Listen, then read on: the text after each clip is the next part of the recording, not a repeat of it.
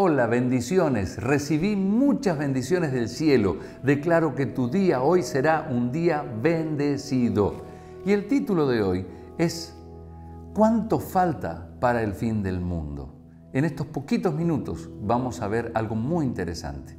El Señor anunció que los cristianos, los que están mirando el mundo espiritual, nos vamos a dar cuenta cuando llega el fin del mundo, porque van a haber guerras y terremotos y levantamientos, y da una, va a haber hambre en la tierra, empieza a, a mostrar muchas cosas que van a suceder.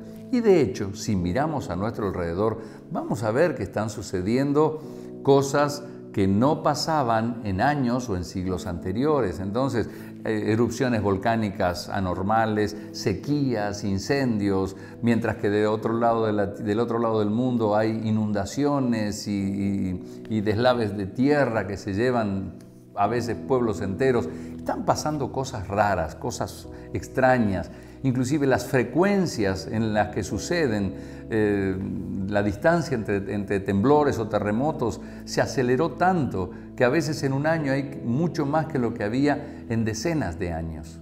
Entonces, están pasando cosas que me hacen sentir y entender que estamos llegando a los tiempos finales. Ahora Dios dijo, cuando les hablo de los tiempos finales no es para que se asusten, sino para que se alegren y estén bien preparados para disfrutar lo que significa que el Señor venga aquí a la tierra.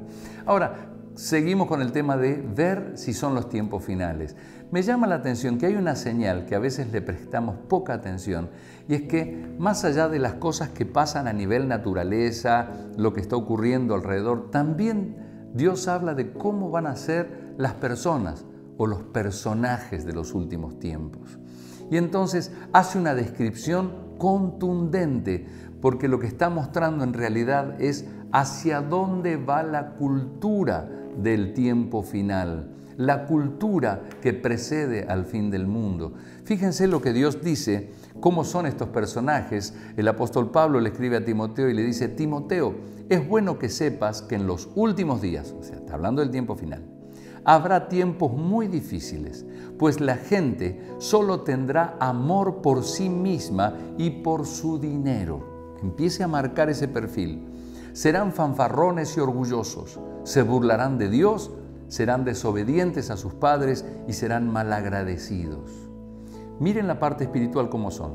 No considerarán nada sagrado, no amarán, no perdonarán, van a calumniar, o sea, mentir, van a calumniar a otros y no tendrán control propio, serán crueles y odiarán lo que es bueno y sigue diciendo, aún traicionarán a sus amigos y muchas cosas por el estilo.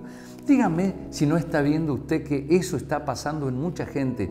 La cultura dice, tenemos que liberarnos, tenemos que ser más actuales, tenemos que actualizarnos y van corriendo en muchos lugares, en muchas naciones, en muchos lenguajes, van corriendo en esta dirección que Dios ya nos anticipó que marcaba que están llegando los tiempos del fin. Así que disfrute saber que usted no es de ese grupo. Si no, no estaría interesado en este devocional y estaría apartando estos minutos. Sepa que Dios va a cubrirnos en este tiempo final. Pero la clave para eso es estar llenos del Espíritu Santo y tener nuestras cosas arregladas con el cielo. Si usted es cristiano, manténgase encendido, manténgase conectado con el cielo, congréguese y si por cuestiones de seguridad, bioseguridad, no los dejan salir o congregarse, congréguese digitalmente, pero afirme su fe en forma fuerte Prepárese y afírmese, ajustese los cinturones para vivir bendición y ser librados del tiempo de tribulación que viene sobre la tierra. Y en segundo lugar, si usted no es una persona que tuvo un encuentro con Dios y fue totalmente perdonado por Dios, dígale al Señor que hoy usted lo recibe en su corazón. Si me permite, lo guío en una brevísima oración. Dígale así, pero de corazón, Señor Jesucristo, Hoy te pido que perdones todos mis pecados, mis faltas, mis errores. Yo te recibo como mi Salvador personal y como mi autoridad máxima. Señor Jesús, te entrego mi vida. Siga diciendo, recibo tu perdón, recibo la limpieza de mi alma y recibo la vida eterna ahora. Amén. quiero decirte que desde este momento, si seguís caminando en esta fe, nada ni nadie podrán tocarte y estaremos preparados para ese tiempo final. No se olviden que Dios dijo, valoremos y busquemos las cosas que no se ven porque son eternas. Esos son los tesoros del tiempo final, porque las cosas que se ven son pasajeras y no duran. Entonces, siga practicando los valores, el respeto, el amor, la obediencia, el respeto a los mayores, siga practicando la honestidad, la pureza, la integridad. Hágalo aunque el mundo entero vaya corriendo en otra dirección.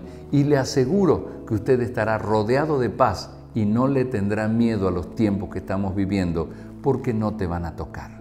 Que Dios te bendiga.